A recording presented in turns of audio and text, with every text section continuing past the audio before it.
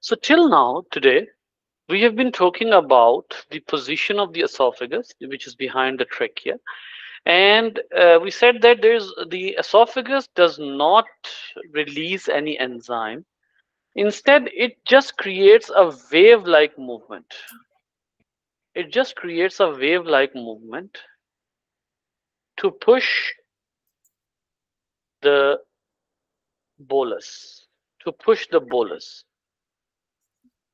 So if it creates a wave-like movement, so always remember that whenever we talk about the movement, whenever we talk about the movement, the movement is only possible when the muscles are around. The movement in the body is only possible where the muscles are located, which means that if the uh, if the food is moving, if the food is moving, it definitely means that it has some sort of muscles. It is being pushed by some sort of muscles. Being pushed by some sort of muscles. So there must be some muscles in the esophagus.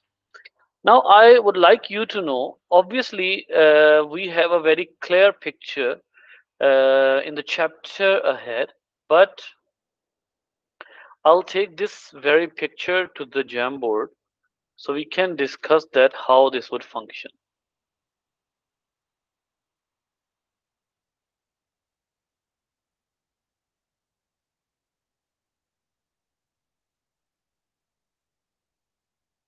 Okay, now this is the picture. And if you want to know, this particular uh, canal has two kinds of muscles. One kind of muscles are uh, arranged along the length. Suppose that this is the this is the esophagus.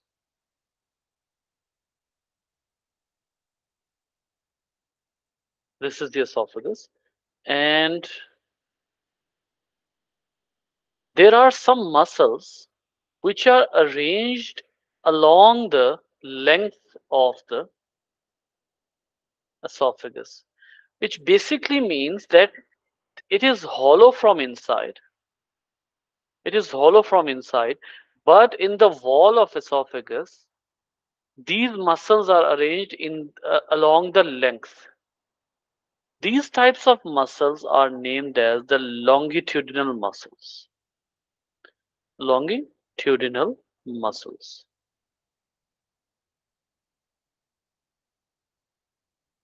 These are called as longitudinal muscles, which are uh, uh, arranged along the length.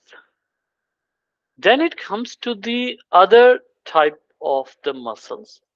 And the other type of the muscles are arranged in the circular manner. Like this. In a circular way. These muscles that are arranged in circles are called as circular muscles. So two kinds of muscles are there. One are called as longitudinal muscles and the others are called as circular muscles. Okay, what are the functions of these muscles? Before that, I would like you to tell me what is the general principle of mus muscle working?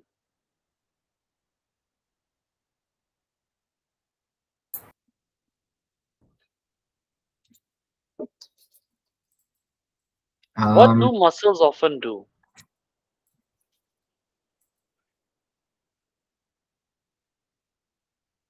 What do they often do? understand what you mean by that. Uh, Like, what, what, what, what do they do? What, what is the function of a muscle?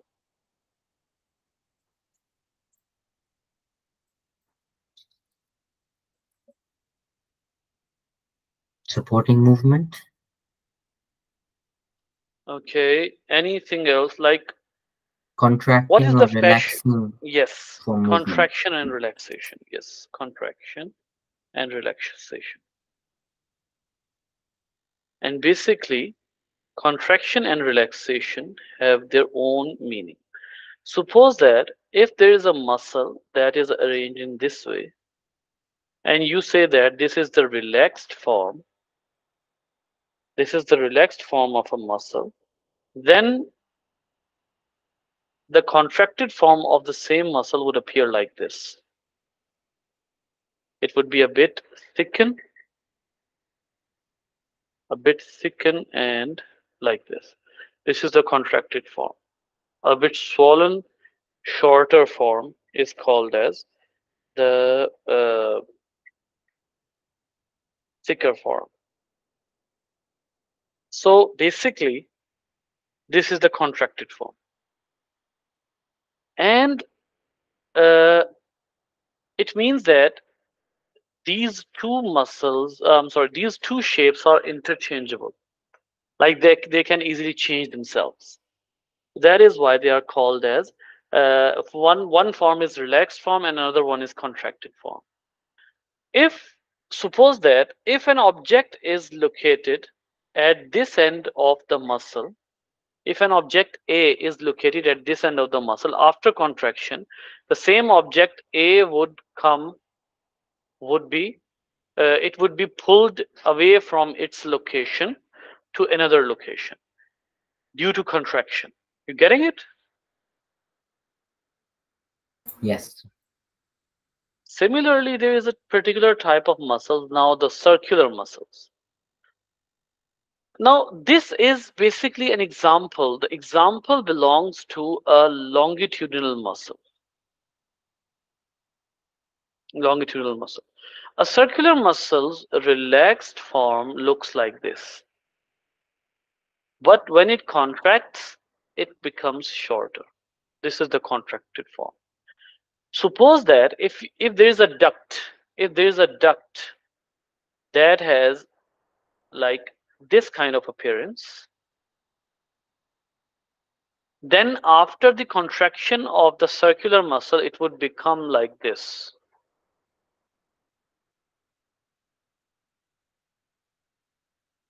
It would become like this. Now, this is the location where the circular muscle is contracted.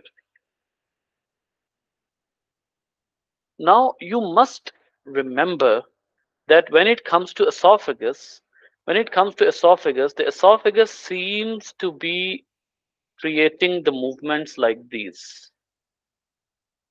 It has been noticed that the esophagus creates these movements. And this is the bolus. This is the location of the bolus. Now, when the scientists closely watched, they came to know that the region of the esophagus that has been swollen, the region of the esophagus that has been swollen, it is due to the longitudinal muscles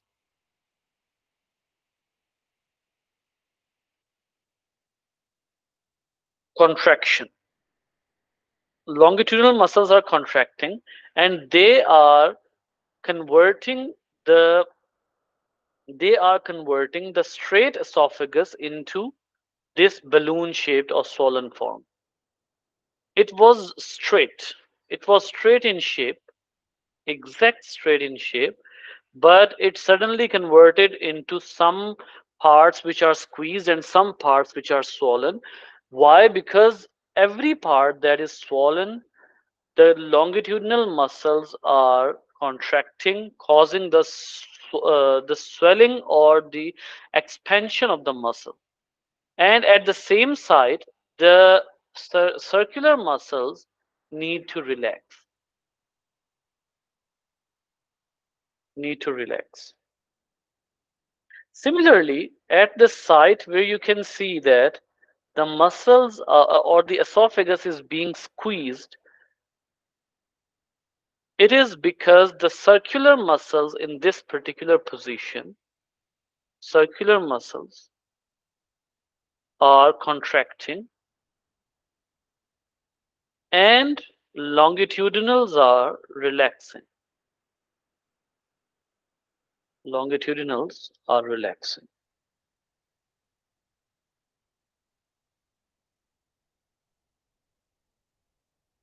So that is basically the phenomena of the uh, that is basically the phenomena of the circular muscles contracting, longitudinal muscles are relaxing, and this movement, this wave-like movement is called as the peristalsis. This uh, movement is called. Did you understand the involvement of the muscles?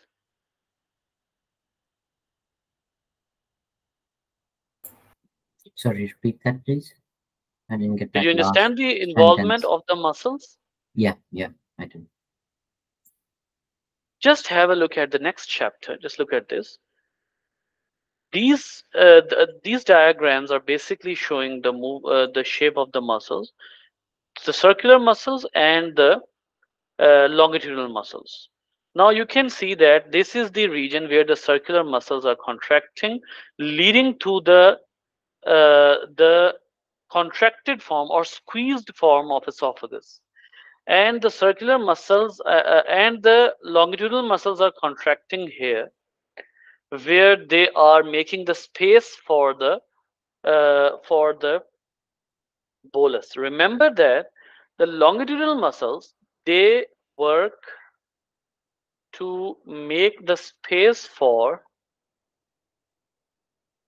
make the space for the bolus. While the circular muscles they contract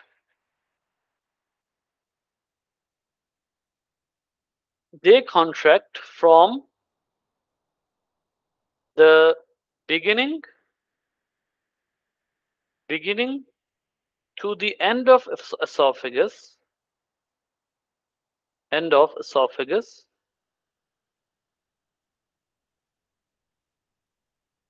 to the end of esophagus uh, pushing the bolus.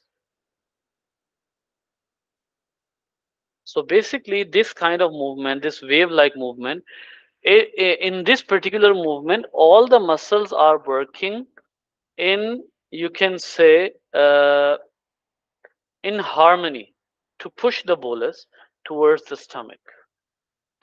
And remember that if the esophagus looks like this. If the esophagus looks like this then remember that both the muscles in this position are relaxing. Both type of muscles types of muscles are relaxing. Got it? Yes. so you can see it over here. And once the food reaches the stomach now another very important thing and that concept i'll explain first then i'll tell you that where do these things located. There is a very important word called as sphincter. Sphincter is the set of muscles. It is a set of muscles uh, that can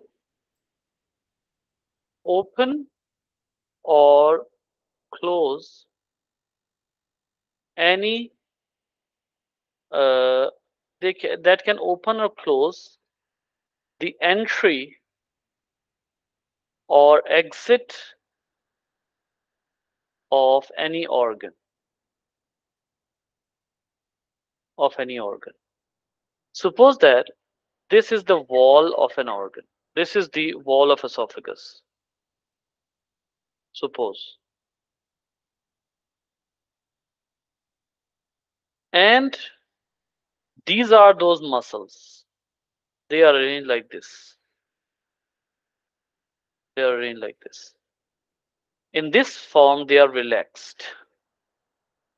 But when they would contract they would just uh, okay no uh, hold on. I can make their shape a bit different to make you understand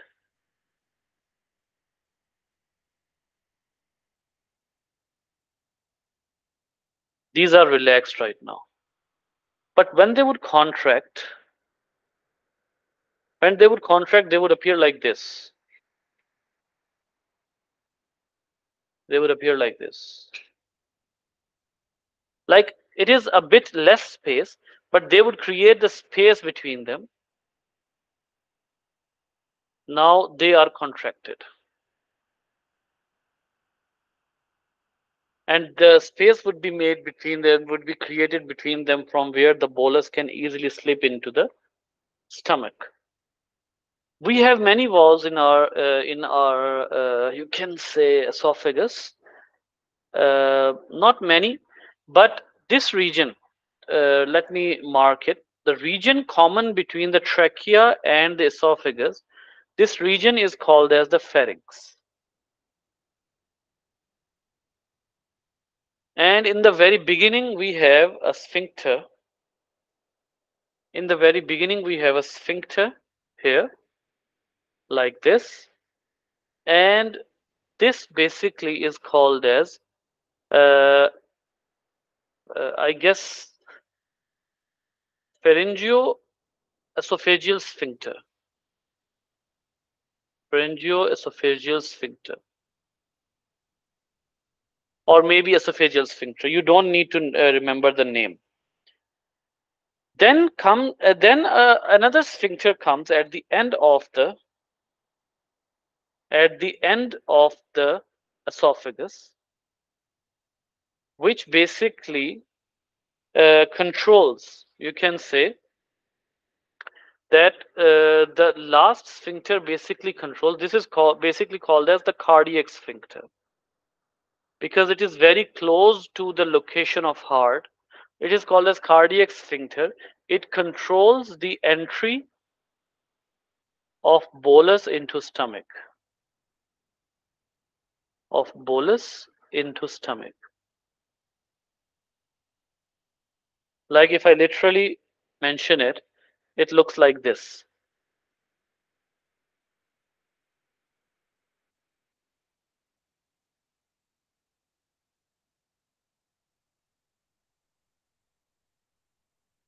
so uh, this this particular sphincter is located here.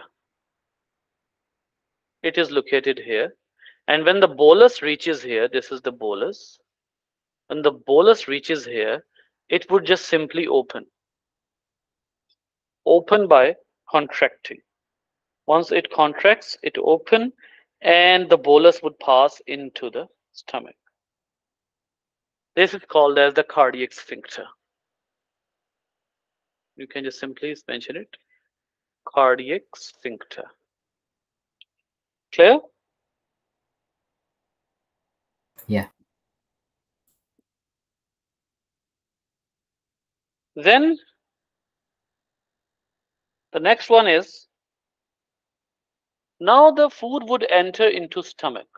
Remember that initial part of the stomach is if i properly mention it this initial part of the stomach is called as the fundus.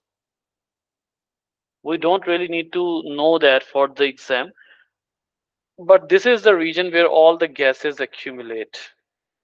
The gases that are being produced by the being produced by the um, uh, uh, by, by the stomach would accumulate here. They would accumulate here and the rest of the stomach is rest of the stomach is like this. Now look at the stomach. This is the this is the stomach. And basically the stomach is not a simple organ. Always remember you see that the, we we studied the uh, longitudinal and the uh, circular muscles in the esophagus. What is the uh, what is what are the muscles? Are they um,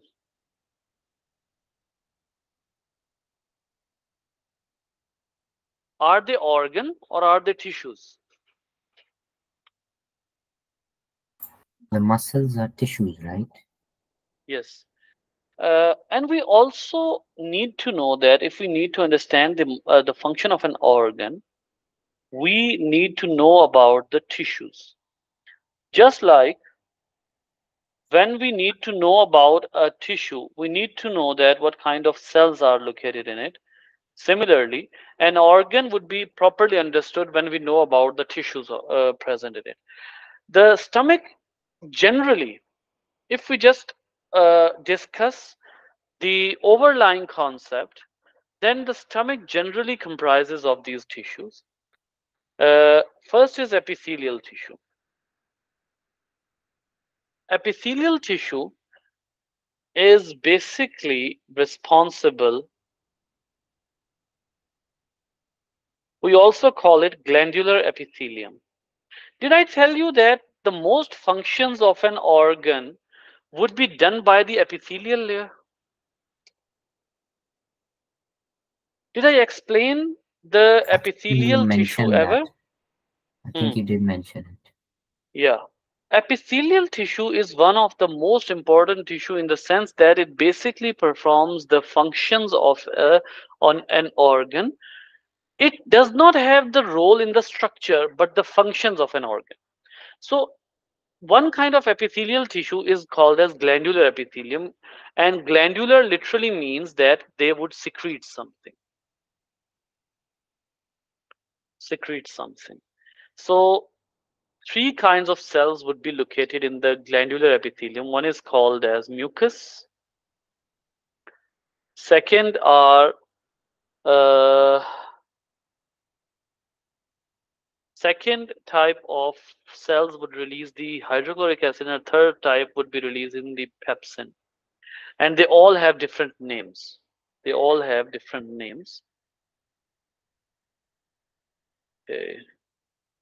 Pyloric okay chyme.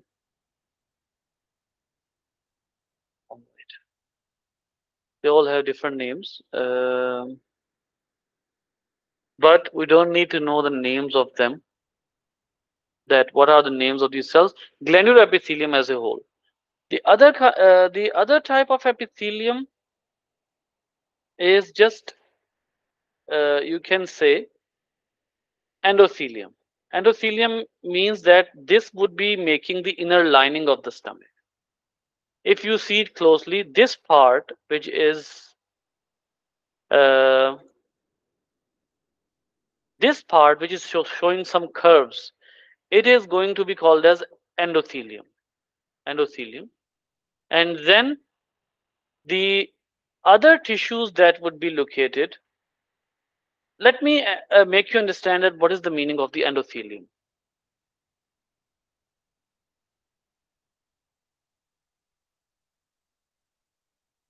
Suppose that this is the stomach this is the upper part of the stomach and inside there is layer. And you just open one small portion from here. You take one small portion.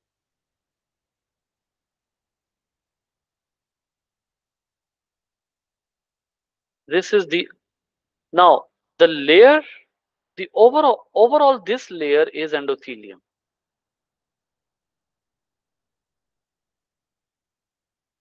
inner layer of stomach. But yes you will see some pores here which are generally called as gastric pits. Gastric pits. And these pits are basically they are penetrating deep inside the stomach. And they have the glandular cells. These are these pits basically represent the glandular tissue in this we have glandular cells. So every uh, uh, everything whether it is mucus whether it is mucus or hcl or uh, pepsin would come into the stomach with the help of the pits. You getting it? They would be entering into the stomach with the help of the pits. Yeah. so once uh, the other type of tissue that you would find in the stomach are the muscular tissue. Remember that the muscular tissue is uh, responsible for a particular movement of the stomach called as churning. Churning. Churning is responsible for grinding and mixing so this also comes in the physical digestion as i have already told you. And the muscular tissue you will find the same kinds of muscles. It is not in your syllabus but you can see the circular and longitudinal muscles are there but there are some other muscles oblique muscles. So muscle uh, would make the stomach move in all directions. That is the um, or then you will find the nerve nervous tissue and you would also find the blood vessels. All kinds of tissues would almost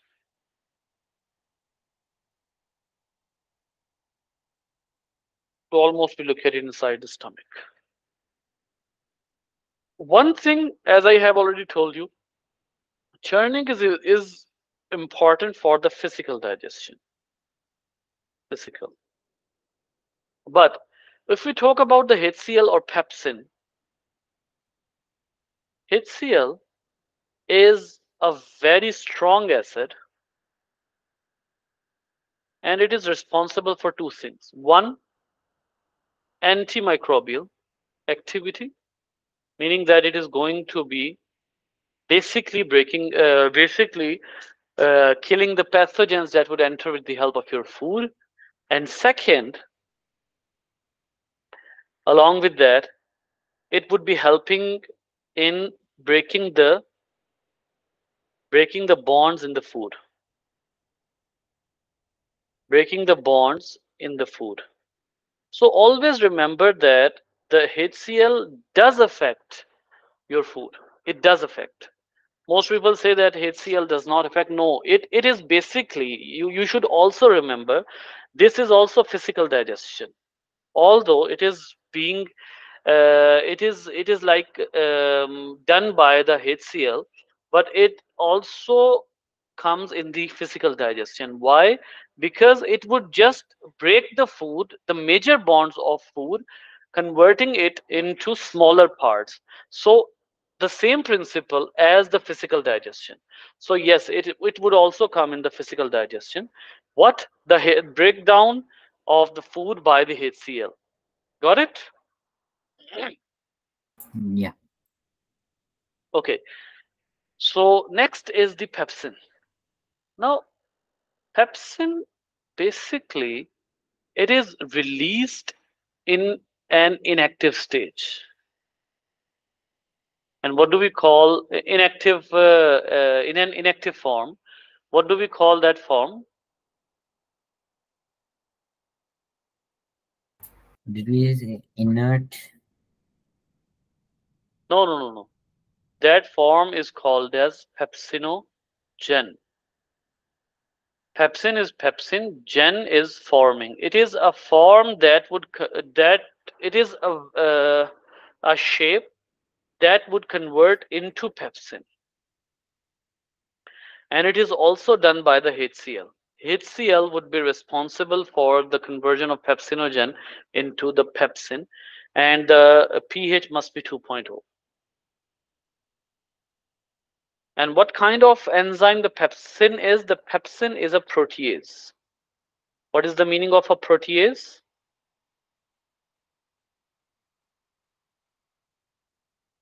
Um, breaks from proteins, right? Hmm. Once the protein is being acted by the protease or the pepsin, most of the time the protein converts into the polypeptides into the polypeptides. But sometime if you eat a very small simple protein it would be just converting from the polypeptide into the amino acids but it rarely occurs most of the time the pepsin would be converting into the polypeptides would be converting the protein into the polypeptides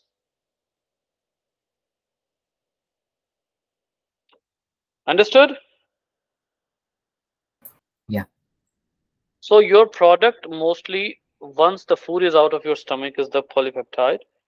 Any other thing you want to, um, okay, do you want to have a look at the um, whole thing about the stomach that we have discussed?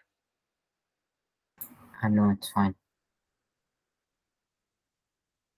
Okay. So, one, yes. So this is the.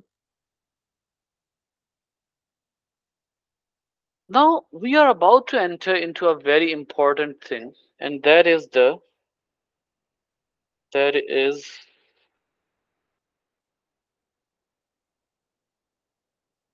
the small intestine.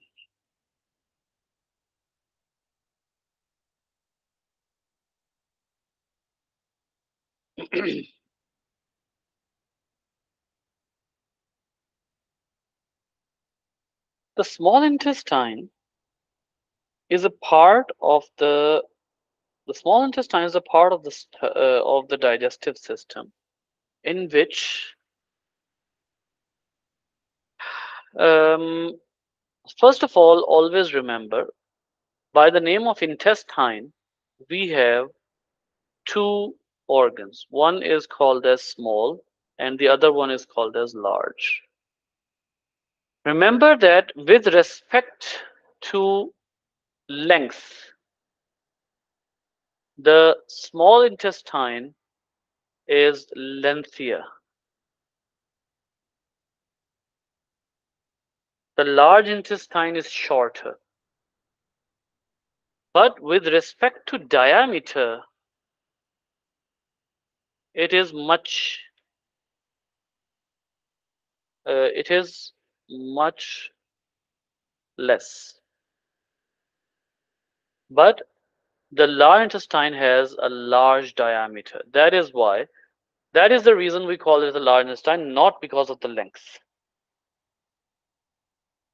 So, moving ahead, when the large intestine, uh, sorry, when the small intestine reaches, the small intestine is almost of the size of, uh, I would generally say, it is almost of the size like i guess 15 feet maybe.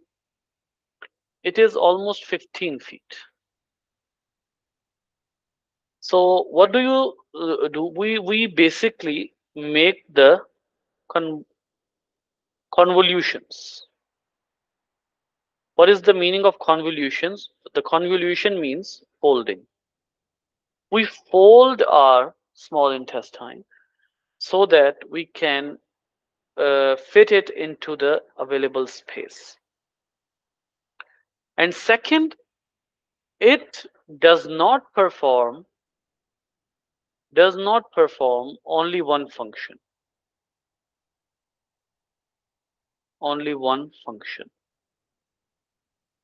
Instead, it has multiple functions. So if I properly tell you from here, uh, oh no, sorry, sorry. One thing I forgot. Once the food is treated in the stomach, food or bolus is treated, it quits the stomach through pyloric sphincter. Pyloric refers to the intestinal end. Uh, which was the previous one?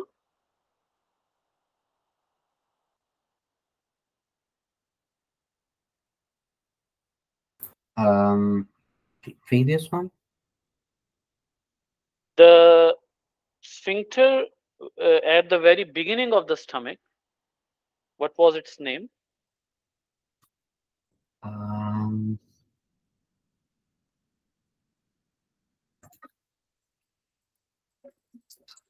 was it lower esophageal No, no, no, no, no, no. pyloric sphincter? Pyloric is the one that is closer to the small intestine. The one that is closer to this heart is called as the cardiac sphincter, or maybe at the very beginning of the stomach, which is closest to the heart, that is the uh, that is the cardiac sphincter. Understood? Yeah. So the uh, in the very beginning it is the cardiac sphincter, and uh, in the very at the very end of the stomach that is called as the pyloric sphincter. So once the pyloric sphincter is reached,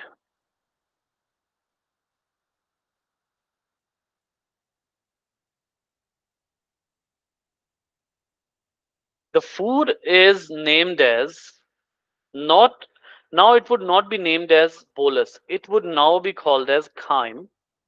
And books often call it as the acidic chyme acidic means because it has been treated by the acid of the stomach. So that is why it is called as the acidic chyme.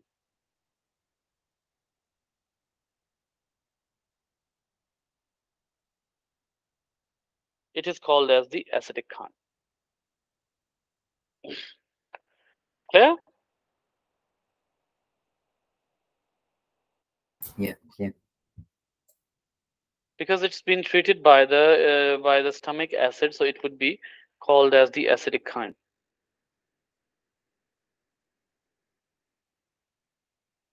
So now the chyme at this location, your food particle would be called as the chyme.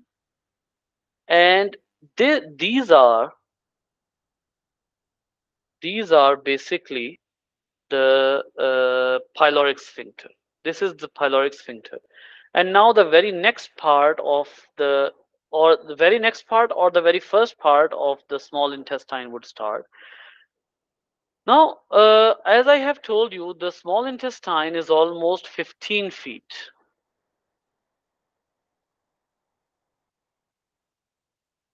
So it is often divided by, it is often divided on the basis of the uh, functions.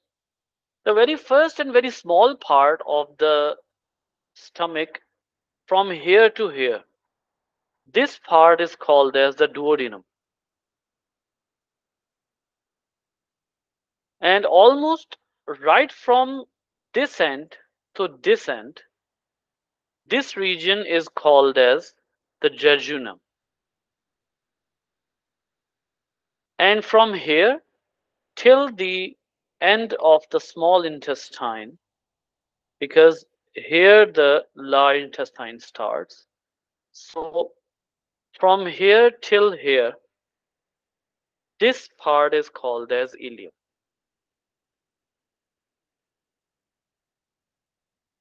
So the duodenum, what are the functions? Why are we dividing them by name? Remember that the duodenum has the functions function of receiving receiving. What does it receive? It receives the chyme from stomach. It receives the bile from gallbladder. Gallbladder. And it receives the pancreatic juice from pancreas. So all the secretions are being released into the duodenum. That is why Into uh, they're all being released into the duodenum. into the duodenum, Okay. chyme coming from the stomach, obviously acidic chyme. The pancreatic juice, the bile juice, or both of them are being received by the by the duodenum. Another thing I forgot to tell you previously that the collection of these three, the collection of these three, it is called as the gastric juice. It is called as the gastric juice.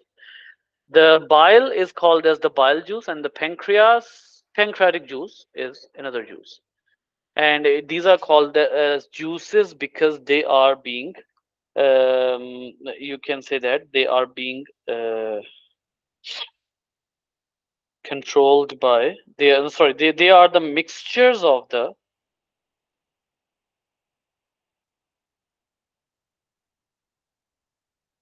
enzymes. Okay, so is all right.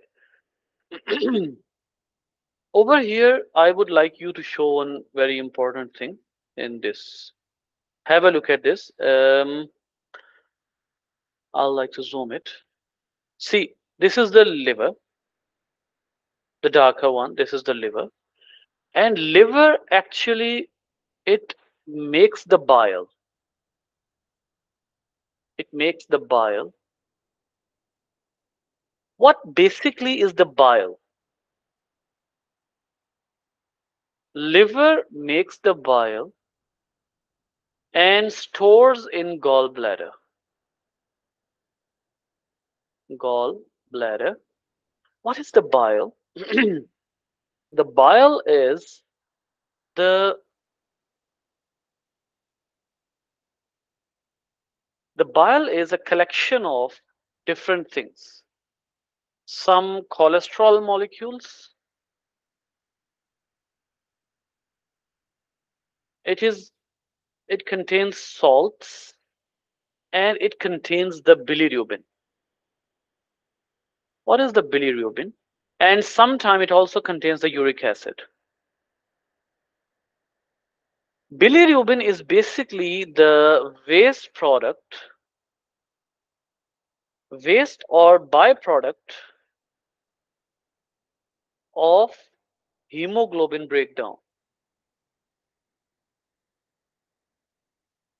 Waste or byproduct of the hemoglobin break the hemoglobin breaks. Why the hemoglobin breaks? Can you tell me? Um, I'm not sure why it would break. any particular any fluke? No, I don't, I don't know. okay basically the hemoglobin breaks because our red blood cells uh, have a life of 120 days. They have a life of 120 days and uh, mm, the red blood cells uh, once they break the hemoglobin inside them is also broken. It is also broken down. So uh, like we can say that once the hemoglobin breaks down we the bilirubin is made. And bilirubin is a toxin toxin extremely dangerous thing. Remember that if this bilirubin accumulates into your uh, blood it causes the jaundice. Causes the jaundice if accumulates.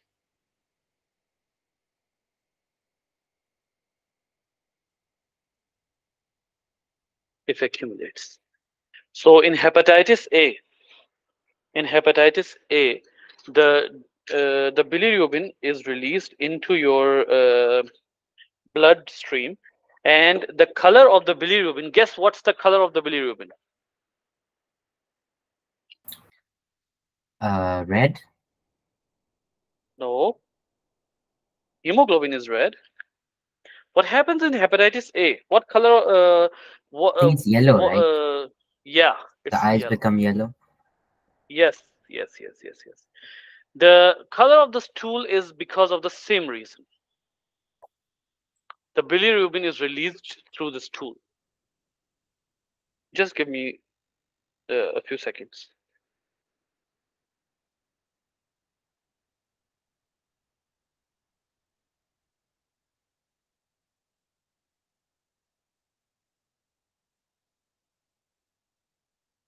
Okay so cholesterol salts bilirubin uric acid and some more things which we don't need to know.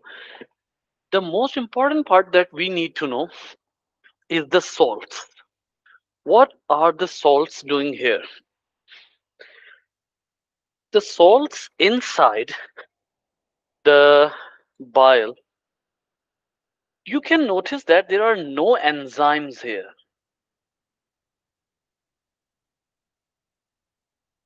no enzymes here. You don't need enzymes basically. Another thing sorry i forgot to mention one of the most important thing and that is the mucus. Mucus is also released by the bile. Okay. So basically what happens there are no enzymes. What are the uses of salts? Salts are used to emulsify the fats.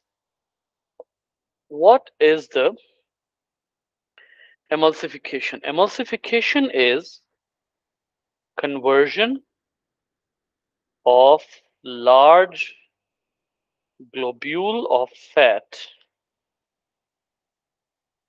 into smaller globules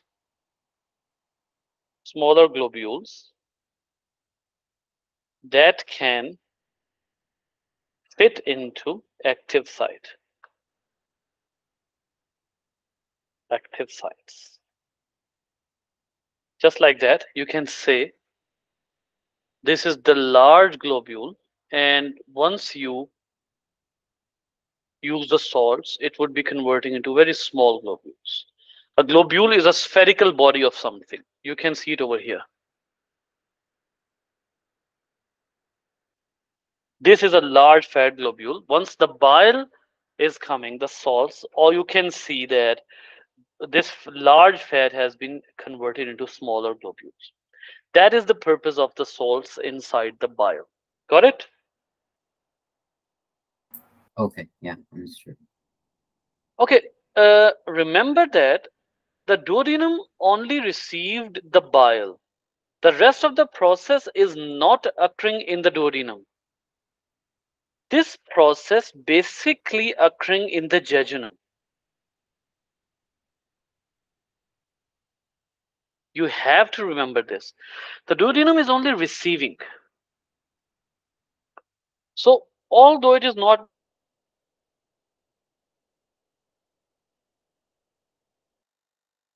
understand and to differentiate between the functions, we need to know that this process majorly occurs inside the jejunum. Got it? Yeah. Now, once uh, this the function of the other thing, the mucus, the mucus actually neutralizes the acid coming with the chyme. If you remember, what is the pH of that acid that is coming with the chyme?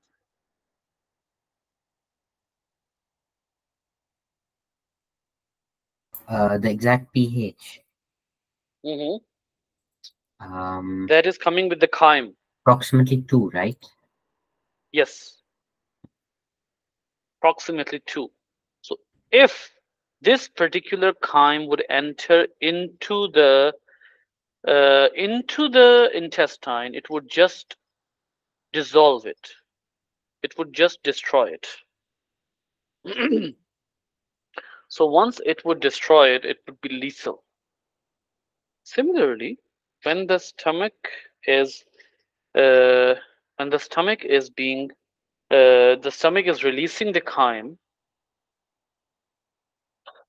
the chyme would be im- immediately neutralized by the uh, mucus coming not only from the bile but also from the pancreatic juice. Remember that the second thing that it, that is putting its fluid into the duodenum is the pancreas. This is the leaf-like thing is a pancreas. This one, the leaf-like appearance is the pancreas, and the pancreas basically releases the pancreatic juice. Pancreatic juice, and this pancreatic juice contains different enzymes like the amylase, like it contains the lipase. It contains very important enzyme called as trypsinogen. This is an inactive form. Remember that there is a conventional rule for enzymes. Non-protease enzymes, the enzymes which are not working as protease, they would always be ending in ase. The enzymes which are proteases, they would always be ending in the suffix in. Pepsin, trypsin. So it means that trypsinogen trypsinogen is basically inactive form and this would become active when it would enter into the small intestine. Along with this the uh, pancreas would also include the, include the mucus. The most important point that you need to know here is that the pancreatic juice and the bile juice they both would combine into into the uh, into a duct called as bile duct which would simply open into the duodenum it would simply open into the duodenum you can see from this picture that this particular thing is the bile duct can you see the can you look at the bile duct Uh, yeah, I can see it. So both of the organs are releasing their secretions into the bile duct, which are ending into the duodenum.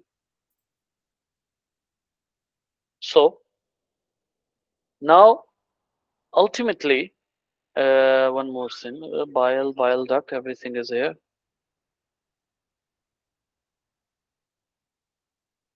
Okay, the story does not end here. The story does not end here.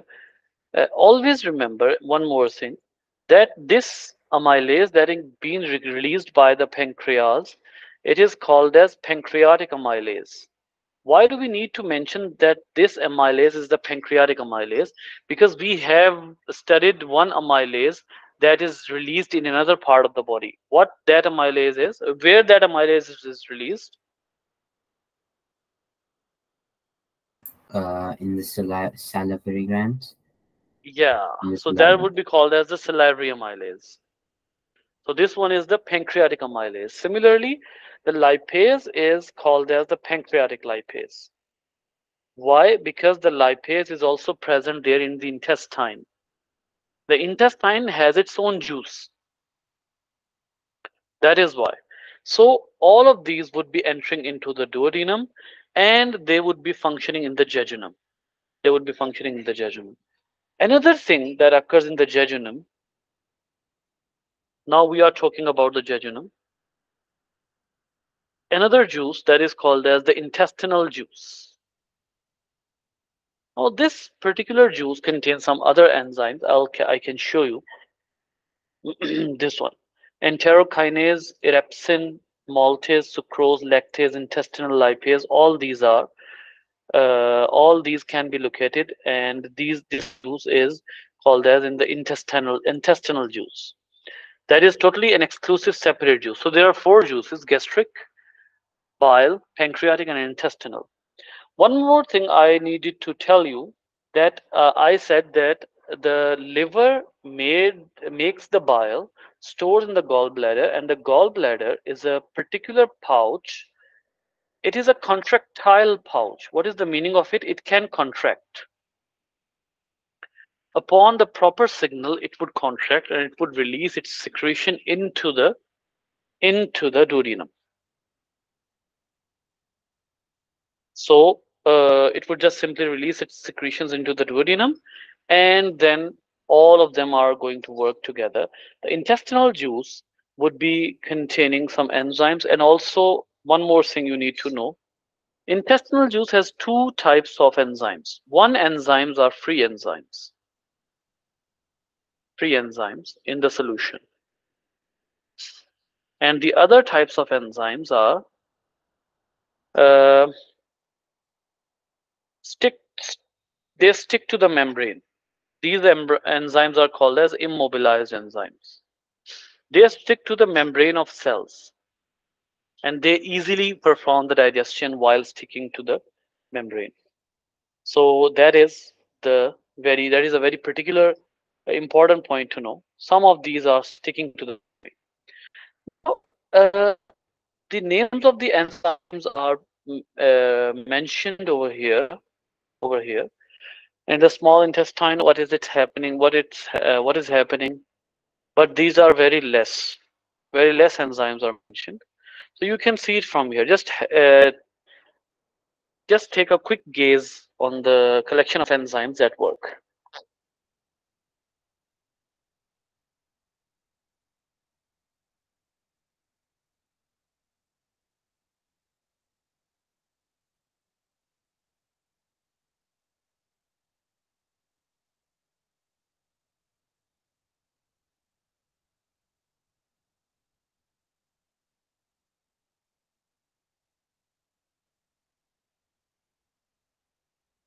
Okay.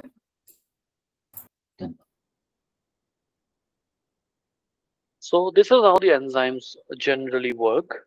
And the in the end, what did I say? I said that the purpose of what is the purpose of digestion? The purpose of digestion is to convert the food into such smaller parts that can into such smaller parts that can be rebuilt into larger molecules. Like we basically eat the macromolecules, the larger molecules, and we break them to the smallest unit. We break them to the smallest unit. That is the purpose. So all we get in the end are these. What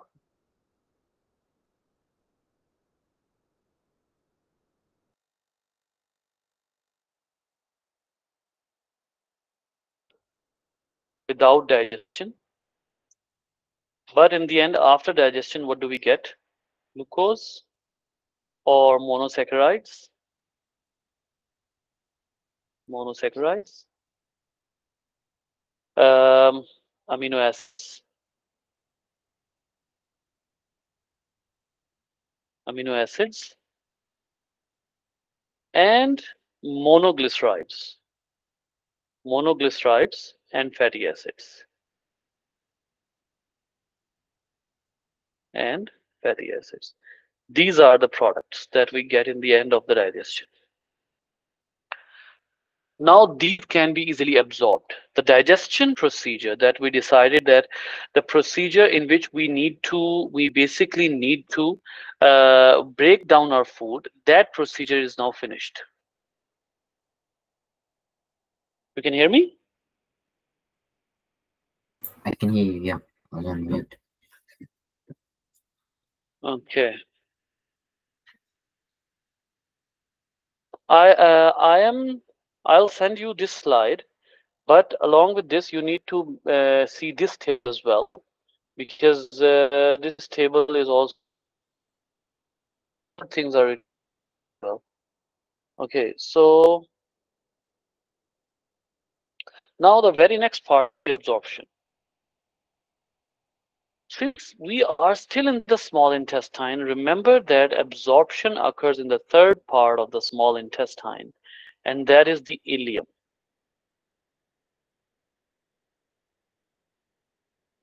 Ileum. Ileum is the last part of the small intestine. And okay, what is necessary for absorption? Can you tell me?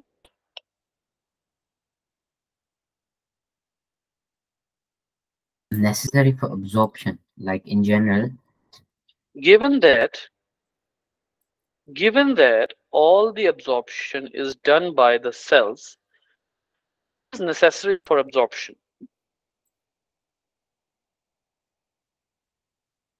something that could be absorbed, like I don't. Um,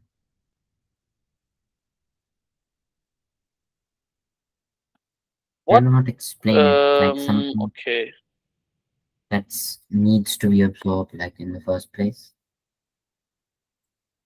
If you need to, if you need to transfer, if you need to transfer something across the cell,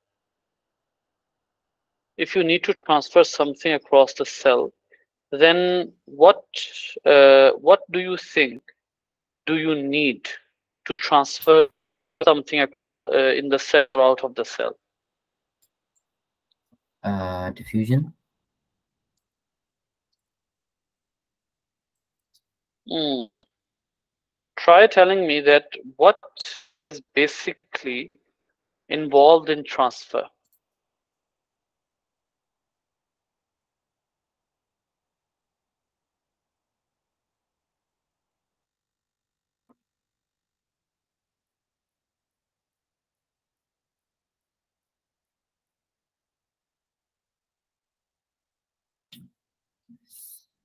Um. So what? Like it's diffusion, right?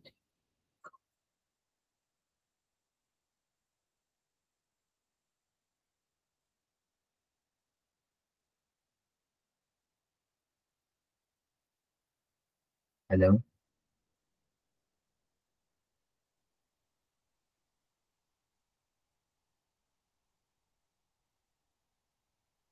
Hello. Can't hear you.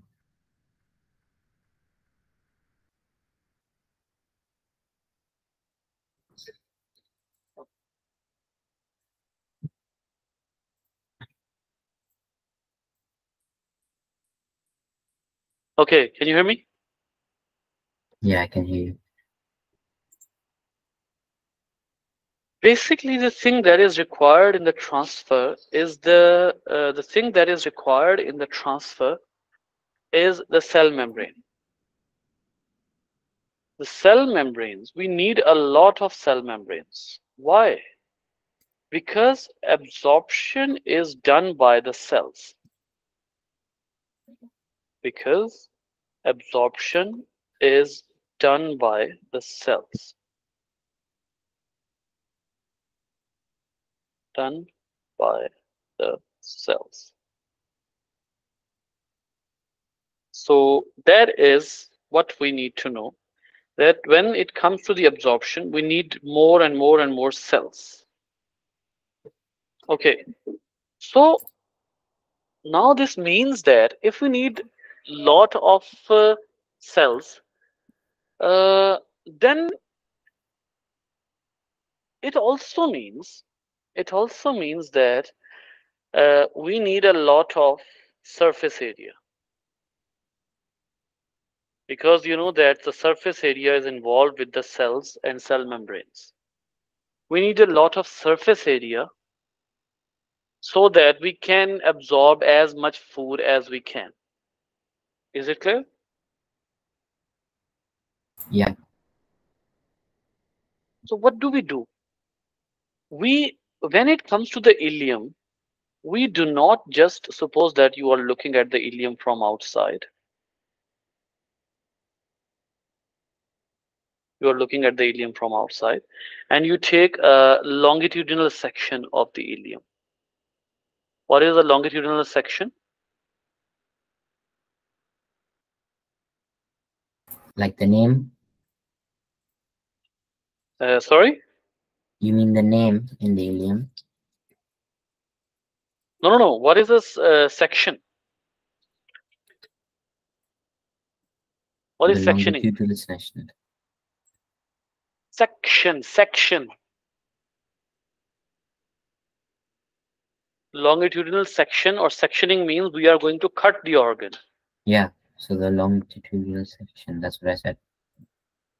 Yes.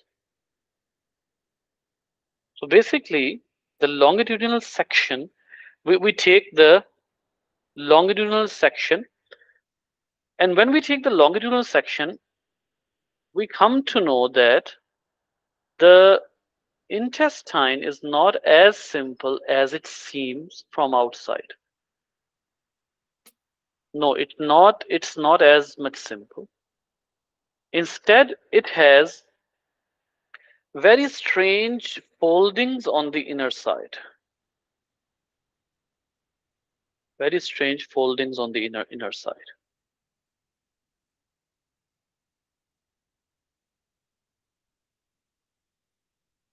On both sides, it has very strange foldings. These are just finger-like foldings. And one fold is called as a villus, or collectively these foldings are called as villi. These are called as villi. Collectively, these foldings are called as villi. Getting it? Yeah. Now, this is dramatically increasing the surface area. Suppose one surface is like this, and on the and the other surface you are just making it like this, converting the same surface into this. Which surface is longer? Um, the one with the um, uh, not the, the first one. Sorry, the second one. Second one means you? If you stretch it out, it will have more surface area. Exactly. Exactly. If we stretch it, it would have more surface area. So clearly it has more surface area. But if we, the next thing is, if right now we are just looking at the tissue, you know, the tissue layer. This is a tissue layer. When we magnify the same tissue layer, we know very well that the tissues are composed of what? Cells. cells.